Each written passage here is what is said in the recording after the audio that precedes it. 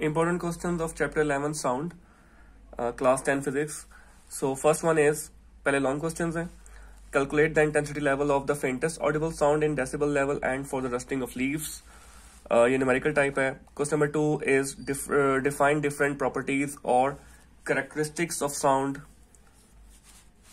then question number three is a doctor counts 72 heartbeats in one minute calculate the frequency and time period of the heartbeat. Question number three, uh, four is a normal conversation involves sound intensities of about 3 into 10 raised power 6. What is the decibel level for this intensity? So ये first numerical है uh, exercise में.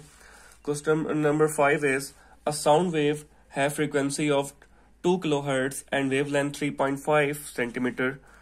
How long will it take to travel 1.5 kilometer? So ये भी numerical type है. Then uh, short questions हैं chapter 11 sound के. Number one is what is the difference between loudness and intensity of sound? Derive relationship between them. Question number two is what are the units of loudness? Why do we use logarithm scale to describe the range of sound intensities we hear? Question number three is if the pitch of the sound is increased, what are the changes in the following? Number one, frequency. Number two, wavelength. And number three is the amplitude of the wave. Question number four. At Anarkali Bazaar, Lahore, the sound level is 80 dB. What will be the intensity level of sound there? In numerical number two है exercise में.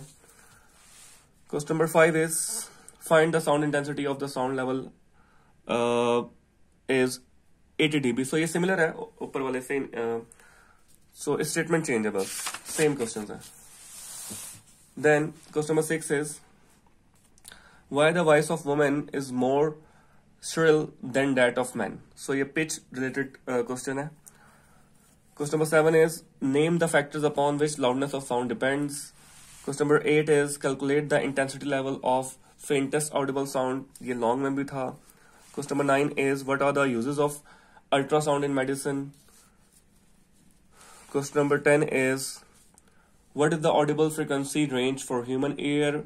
Does this range vary with the age of people? Explain. Question number, uh, last question is 11. Describe the effect of change in amplitude on loudness and the effect of change in frequency on pitch of sound. So ये questions हैं short and long chapter 11 से related.